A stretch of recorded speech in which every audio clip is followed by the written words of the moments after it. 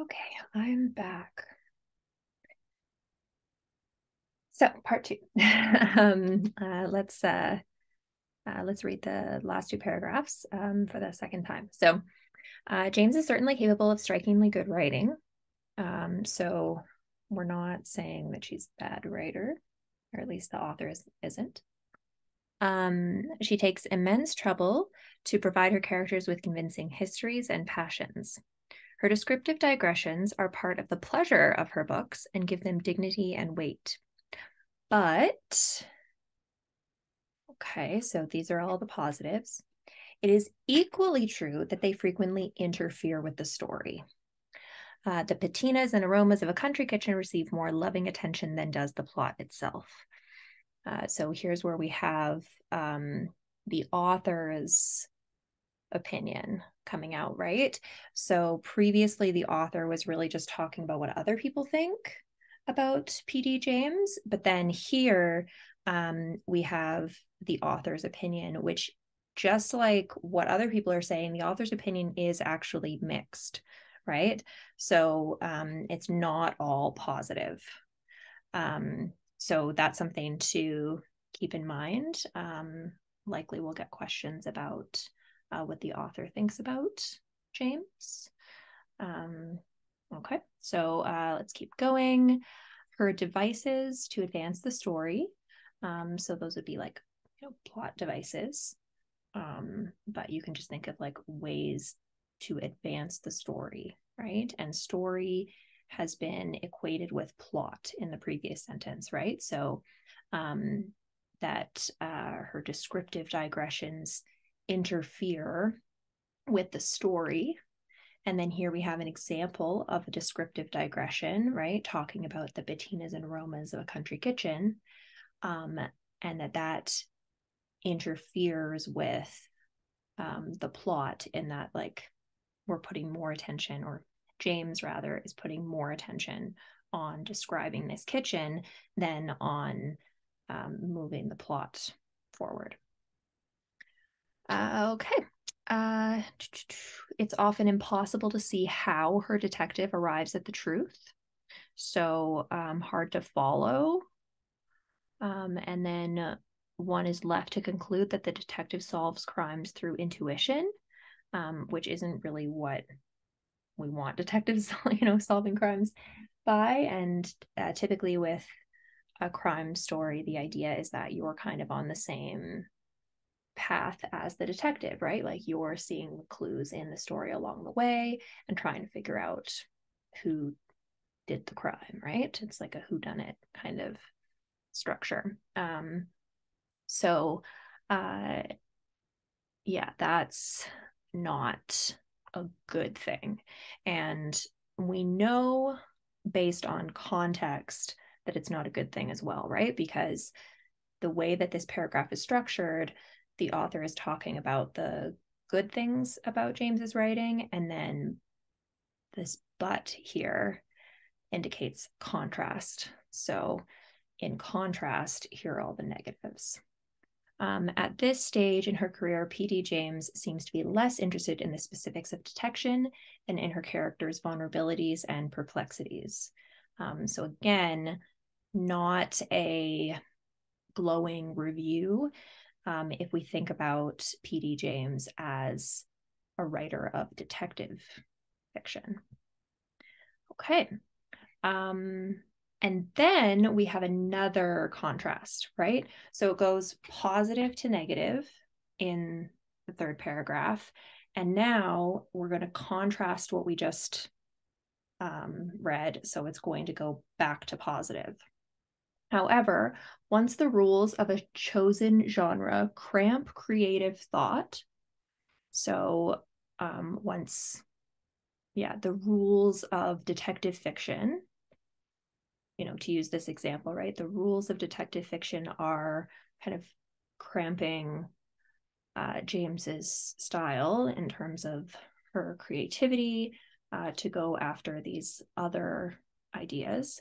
Um, there is no reason why an able and interesting writer should accept them, right? So when the rules are giving you a hard time, there's no reason to accept those rules and follow them um, is what they're saying here. So in her latest book, there are signs that James is beginning to feel constrained by the crime novel genre. Um, now, does it is the author going to tell us what those signs are?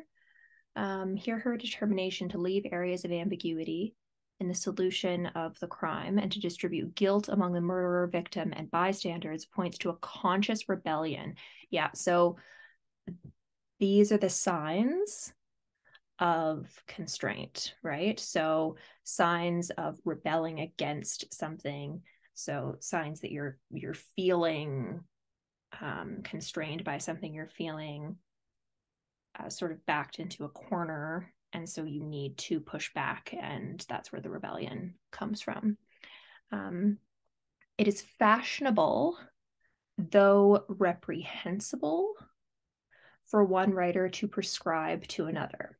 Okay so reprehensible very very bad right? Fashionable is just it's it's popular right? It's um trendy even um reprehensible is um, that it's like worthy of being hated.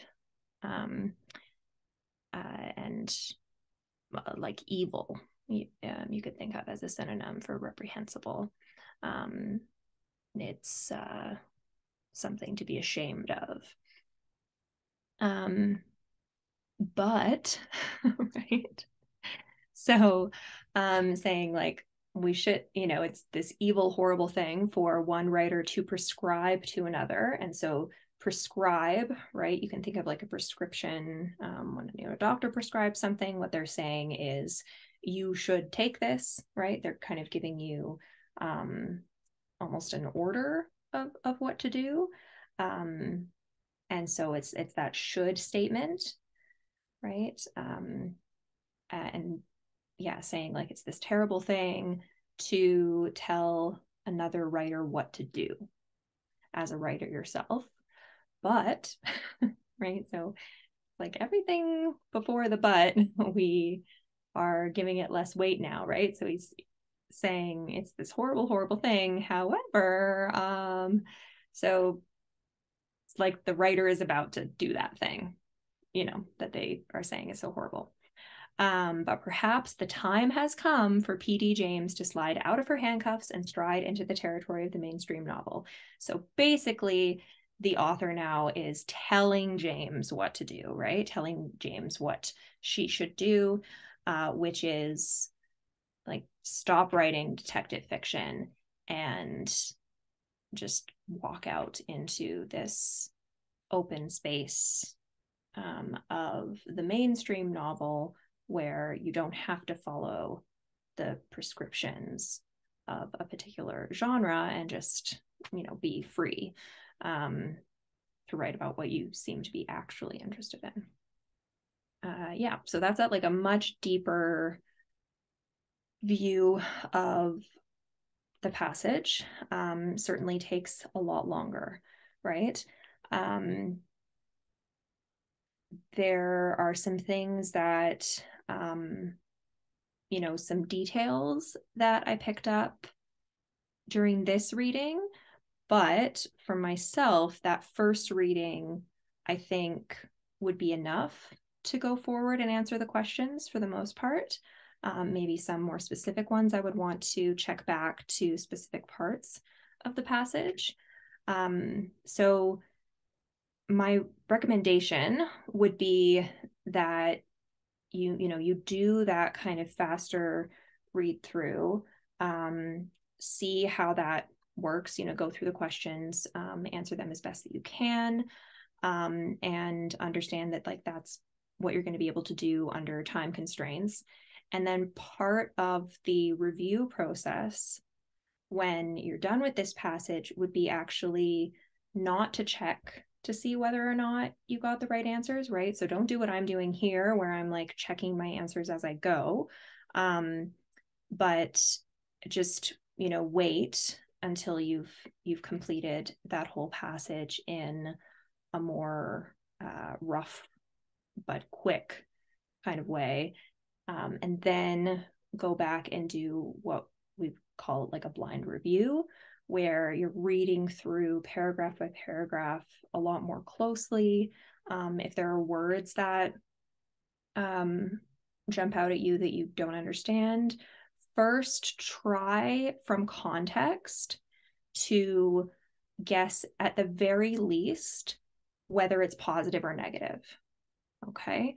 Um, and also try to guess if it's weak or strong language, right? Um, so, like, reprehensible is very strong negative, is a very strong negative, right? Um, so, something something like that, right? Um, just to uh, to see if you can kind of orient yourself um, uh, toward what the author's opinion is. Is the author's opinion um, mixed, right, as it is here, or is it, um, you know, sort of neutral? Like neutral and mixed are are different. Like the author here definitely has an opinion. Um, up until paragraph three, we could have said that the author was um, like mostly neutral. There is this part about false opposition where uh, the author has like a negative view of the actual structures of like putting up these barriers between kinds of fiction. So it does seem that the author has quite a negative view of the constraints that are put on writers. Um, so you know that is flows through even from the first paragraph all to the last paragraph, right? That this the writer of this passage doesn't like uh, the idea that that other writers have to stick within um, certain constraints uh, when they're creating uh, their work um, and they should be able to just kind of do what they're good at and uh, what they're actually interested in um, and then you know because of that probably aren't going to be like judged so harshly um, just for like not following the rules, right? Um, so, anyways, that's um, uh, sorry, I got, I got off on a tangent there. Um, uh, but uh, but yeah, I like we're looking for the author's opinion. That's really what that tangent was about.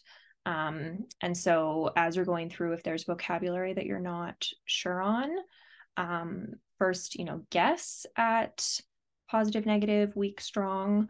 Um, and then I would check a thesaurus for words that could replace and see, you know, which of those words in the context of the passage would be a good replacement.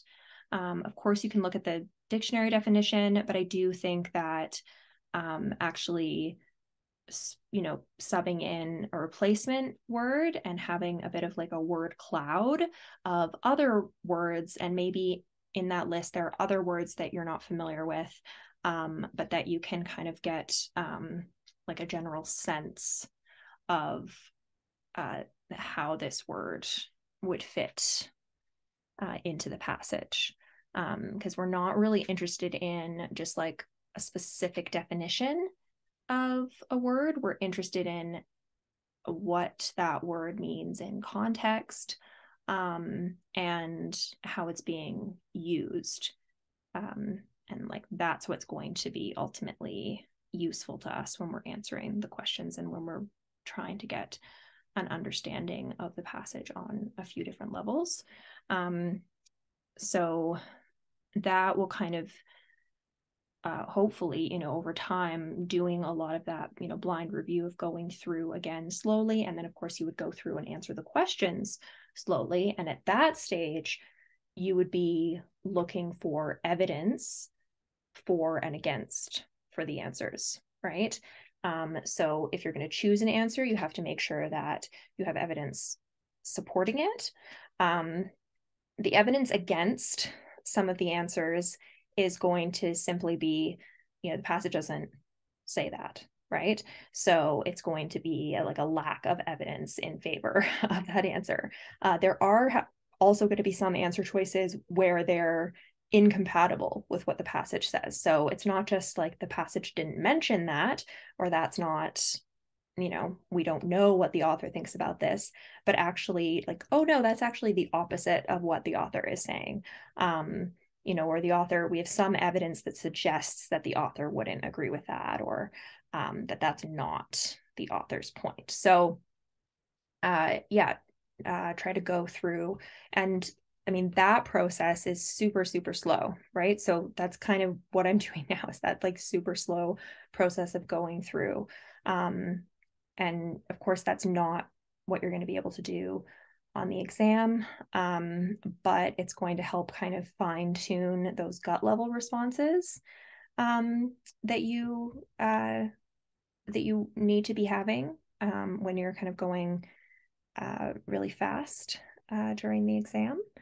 Um, and you know it takes takes a long time takes a lot of practice. Um, if you have access to this exam i'm guessing you probably have access to um, all the other ones on LawHub right? So uh, make sure that you're using these passages um, are so so many of them so really you know put them to the best use possible and um, it's not worth it to just go through quick, quick, quick uh, a bunch of different passages without reviewing them well.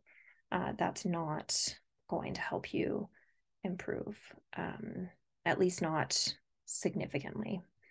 Um, if you know if reading comprehension is something that uh, you're struggling with, so uh, it's really important to do that slowed down, uh, careful review. Okay, I'm going to keep moving, and I'm actually going to move through these questions uh, fairly quickly. So uh, the author refers to patinas and aromas of a country kitchen, most probably in order to do what? And um, we see here this is like a negative about uh, James, right? So um, illustrate James's gift? No, it's not a positive. Highlight James's interest in rural society? Mm, that's not really um, really what we're doing either, right? Right. We're not like highlighting that part. We're just showing that um, her descriptive digressions interfere, right? So it's it's a negative. Allow the reader to experience the pleasure of James's books. No, that's positive. Explain how James typically constructs her plots. Um, so not not really, um, right? So it's more like how they interfere with the plot not this part here isn't about the construction of the plot it's about the lack of attention to constructing the plot because you're paying too much attention to the descriptions. So it's got to be e. Does e work right? Exemplify. Yes it's an example. An example of what? An example of james's preoccupation with descriptive writing. So yeah james is preoccupied with this, distracted by it, right? Like when your attention is um, kind of on something that it's not supposed to be, we could say you're like preoccupied with that. Um, so, E. The second paragraph serves primarily to do what? Um, okay, so we've got um, commentators. Uh, yeah, just like a lot about these different commentators. Um, uh, and some really positive and others negative, right? Uh, so let's see. Propose an alternative to two extreme opinions described earlier. No, we're continuing with some people say this, extreme, some people say this other extreme. Present previously mentioned positions in greater detail. Yes, we're continuing with that um, uh, that uh, big distinction between exaggerating merits and castigating her as getting above herself. Right. So I really like that one. Contradict an assertion cited previously. No, again, we're like continuing on with that pattern of like there are these two extreme opinions about James. Introducing a controversial interpretation. Nope, we're not introducing anything new there. Analyzing a dilemma in greater depth. Um, so I wouldn't think of this as like a dilemma or a problem um, that they're trying to analyze and solve, but rather just like describing um, the two groups of opinions. Um, so it's not so much like a dilemma between two choices, but um, just the fact that critics are uh, very ex- like on two extremes about about this author. So uh, the previously mentioned musicians, yeah, greater detail. I would say this provides greater detail for sure, right? We even have some quotes and specific critics being named. The passage supports which one of the following statements about detective fiction? Uh, there are as many different detective novel conventions as there are writers of crime novels. Um, no, I think the conventions, there would be fewer conventions than writers, right? So it's not that like every writer kind of has their own conventions that are like different from one another. That would kind of be a more free situation than what the author describes about detective novels. So, uh, yeah, I, I would disagree with this one.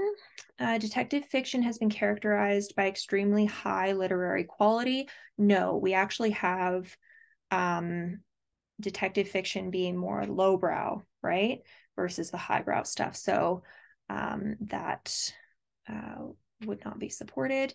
Detective fiction has been largely ignored by literary critics? Mm, no, it seems like there are definitely some people talking about it. So I I, I don't think that uh, that's um, that's supported. Uh, there's very little agreement among critics about the basic elements of a typical detective novel. Um, no, it seems like there is actually agreement among the critics about what a typical detective novel should be like. I mean, the author even seems to kind of agree with that, right? To and basically saying PD James like isn't following those basics of a typical detective novel. And writers of detective fiction have customarily followed certain conventions in constructing their novels. Yes.